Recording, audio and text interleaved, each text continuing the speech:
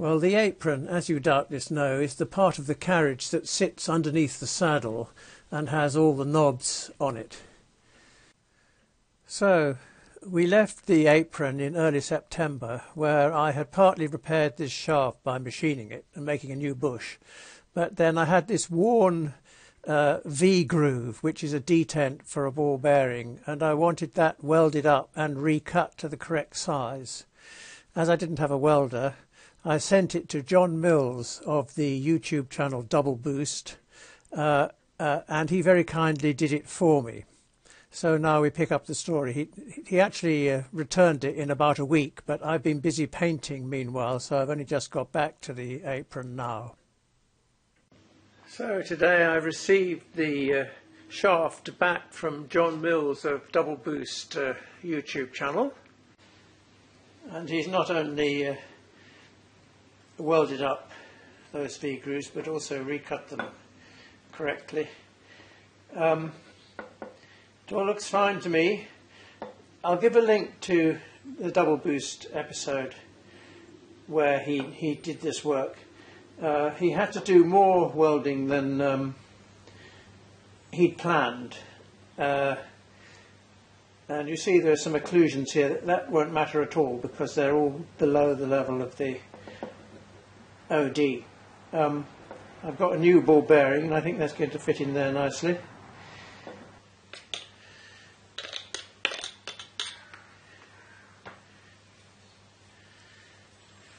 Right, so this comes in from this end and uh, I think this, this cock goes on that way. And then we have to put this roll pin in. This roll pin is specified as a uh, heavy duty one, but I can't find any heavy duty ones, so this is a light duty one. It will just have to do for the meantime. If it breaks, I can always change it.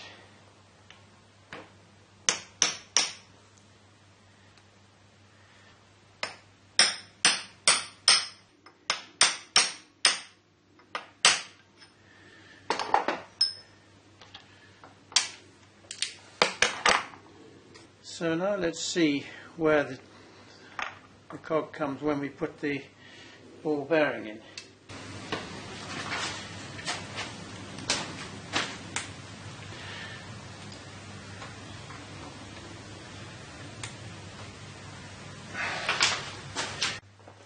Right, well, that's the engaged position, and that is the unengaged position.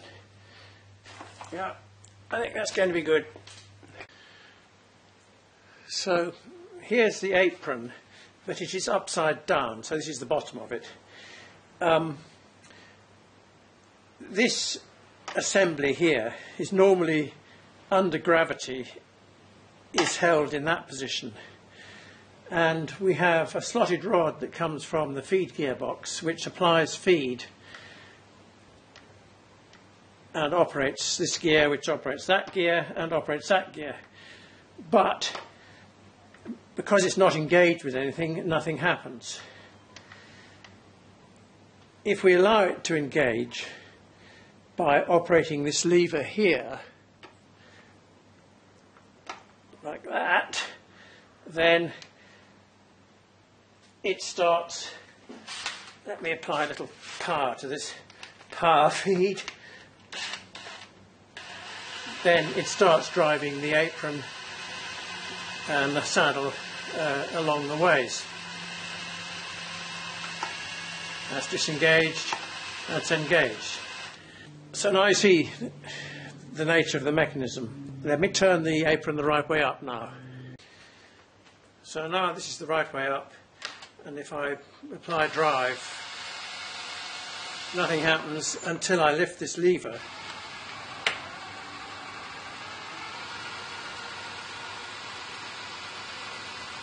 Now what's holding that lever up at the moment is that as I, as I lift the lever up, there's a hook down there which engages on a ledge. If I reverse the feed direction, You see, it fell down without my doing anything. This is because the hook is not engaging very effectively on that ledge. So that's a problem that I've got to address. So here's the lever, and if we zoom in down there,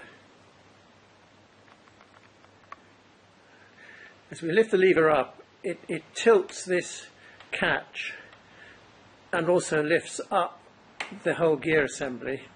That hook that you can see on the catch engages with that ledge. You can see to the right of it, just above the red bit. But it's very perilous. See if I can get more light on there. It's that thing there, which is not quite reliably holding that catch up. So this is the ledge that the hook engages on. So the hook comes up like that and is supposed to hook over that ledge. And uh, I think you can see that it's a little bit worn.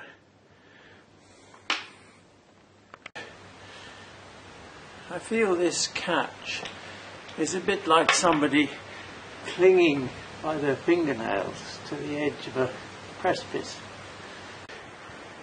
It's always so difficult to show things in close up. But there's the hook. And here's the ledge. And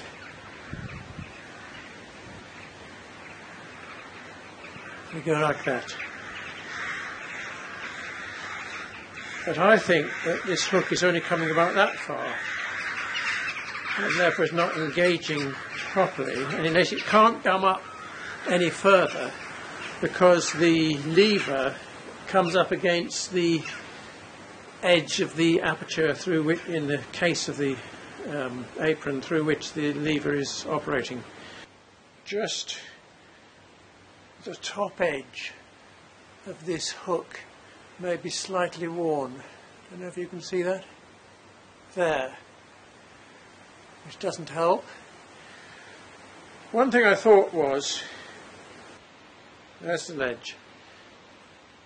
If I were to mill half a millimetre off each side here, thereby bringing the ledge very slightly towards the hook, that might help.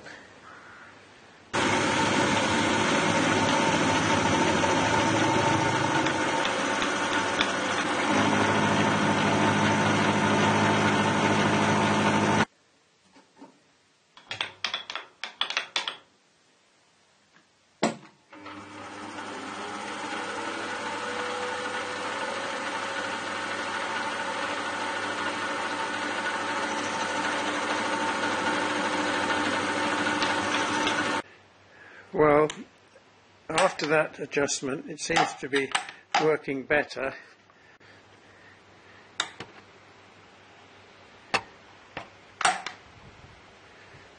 See, it hooks on properly there.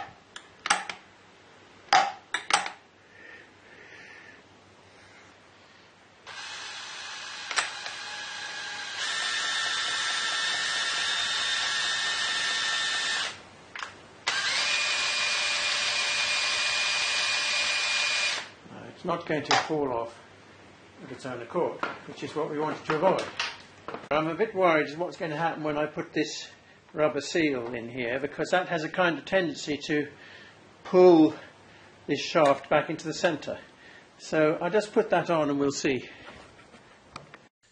By the way, I'd mentioned in an earlier video that uh, YouTuber called Fixit Nige had suggested that the way to uh, replace this black rubber squeegee thing, uh, seal, oil seal, was to buy a rubber gaiter for a, uh, the steering of a car and cut cut the end off.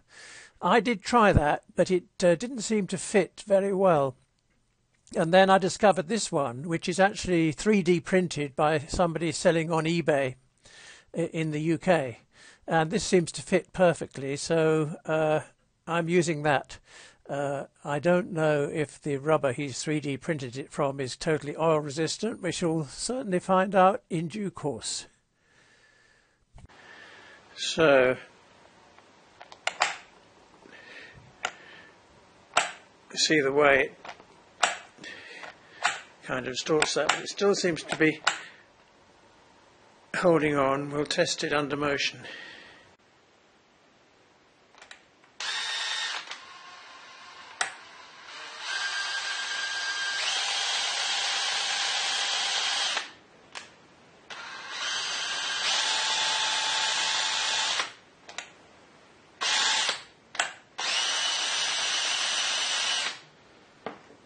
I think the problem is solved. Good. And we have no need of putting that silly spring on the outside of that. So in the mode where the, the power feed is, is driving the apron or the carriage, this gear, that gear is engaging with this, uh, and this gear is not doing anything. If we then pull this back to the second indent, there, we're no longer driving this, but this engages with the gear underneath the saddle, uh, which operates the cross slide screw. Now, I was a bit uh, concerned about this because it's very easy. Go on. It's very easy to pull this back past the second indent like that. The only thing that stops it is when this gear actually hits the side of the case. Um, so I was wondering if I should do something to prevent that, but then I realised that it's not necessary for a reason that I'll now show you. So here's the saddle which is upside down. So this bit bolts onto the top of the apron. And this gear, which when we put it in the correct position, it's quite a long gear, but when we put it in the correct position, only a little bit of it sticks out. So that big gear that was moving backwards and forwards in the apron is moving in this slot here, and it can't go beyond this uh, edge here. So it's constrained in that way. Um, I don't, and hopefully the indent will hold it so it isn't actually rubbing this. Um, so I don't think there's anything to worry about there. Although I think it would be better if slightly more of the teeth on this gear, the width of the teeth, were actually engageable um, under power feed. But never mind, that's how they sounded. And finally, we have this uh, assemblage here, which uh, the slotted shaft slides in and uh, which couples the, the drive to the apron. Um, the problem with this is that it's very hard to tell from looking at the parts diagram exactly what's inside here, but what is quite certainly the case is that there's a shaft seal here and a shaft seal here, and I guess some bearings in there. And I can see no way of getting these shaft seals out other than by hogging them out in a destructive manner. So, since it seems to be perfectly okay in terms of free turning, I thought I'd leave it as it is, um, at least until I see whether it's leaking or not. So, my plan now is to put the base on, fill it up with oil to the specified level and see uh, whether any oil leaks out of here. If it does, then I'm forced to disassemble it, but if not, um, I'm going to leave it alone, and I'm getting bloody rained on. Well, final look um, of the repainted and reassembled apron, upside down as usual. It's the bottom.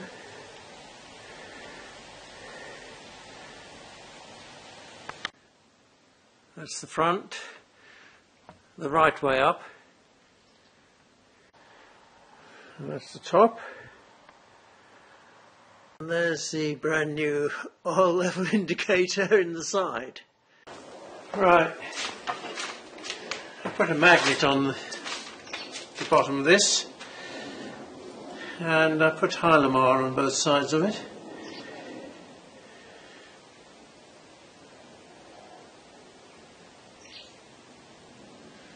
And it goes like that.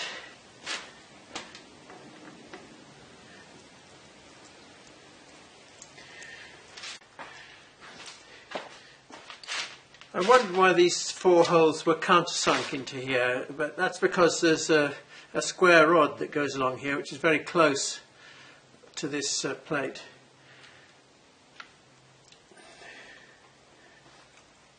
Right, let's fix that down. Put the drain plug in. So we can now put some oil in it. And hope it doesn't leak. Right, let's level that way and that way on the assumption that the top should be level, which it obviously should be because it bolts to the saddle. This is Castrol Hyspin AWS 68, which is the oil specified for this apron. It only requires 0.3 of a litre, and 20 litres was the smallest amount I could buy. So um, I'm not going to run out of this in a hurry, am I? Well, it's not really the kind of oil that I expect it to be in the apron. I should have expected something much thicker and yellower. But there you go. That's what the manual says. Right, here it goes.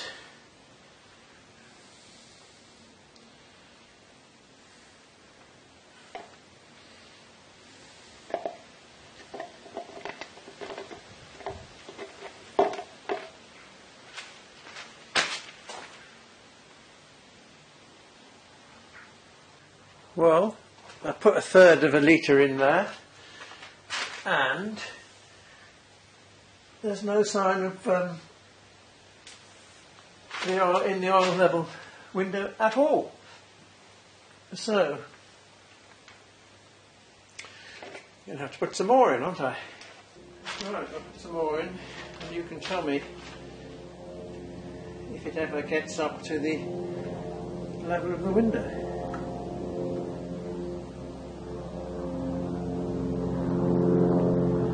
Just appearing, just beginning to appear now.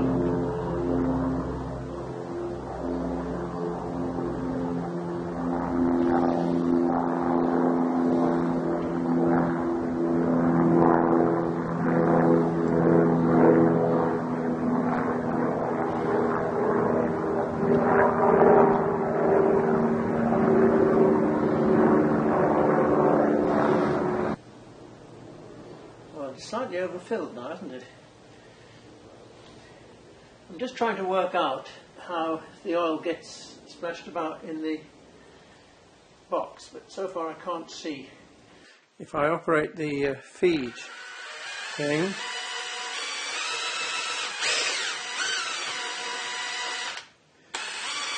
yes, that is, that is stirring the oil. If I then engage the feed,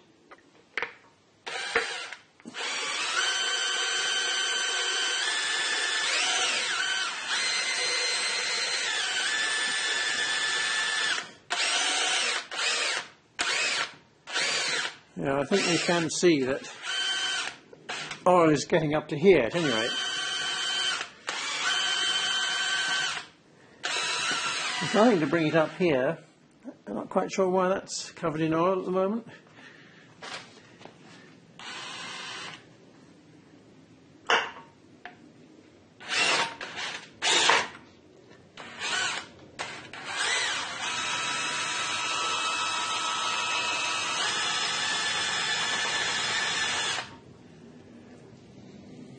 Well, is definitely getting onto this gear, which is getting onto that gear, which I guess will get onto that gear. There's nothing much getting it onto here, though, is it? Oh, yes, it is, because I think that the gear down there on this handle is picking up a little oil, which then picked it up onto here.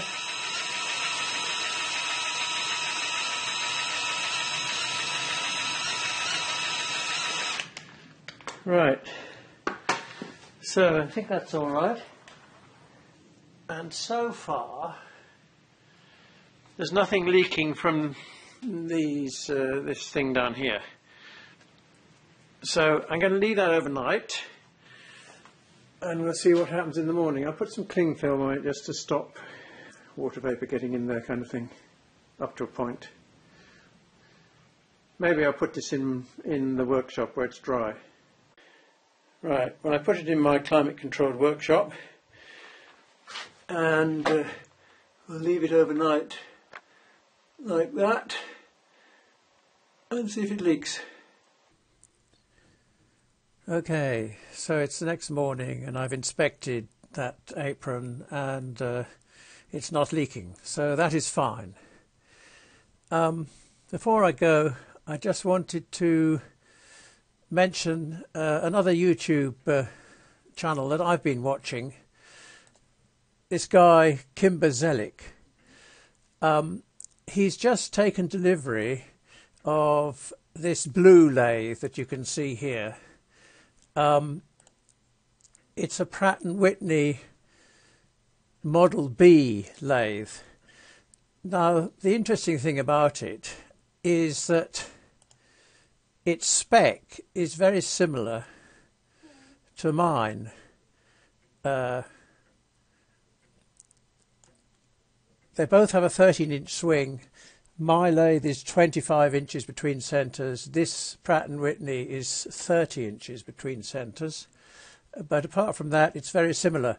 But the, the, the thing that interested me was that uh, this lathe weighs 2.7 times more than mine.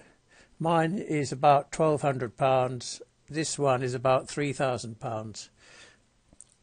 This Pratt & Whitney is probably designed in the 1920s, 1930s. My Harrison designed in the late 60s, early 70s. Um, the Pratt & Whitney, everything is cast. The Harrison, everything is cast above the swarf bed, but below it's uh, just welded uh, sheet metal, or, albeit rather thick sheet metal. I just thought it was an interesting comparison, and uh, what he's been doing with that lathe is also quite interesting. You might want to, to watch him. Anyway, thanks very much for watching.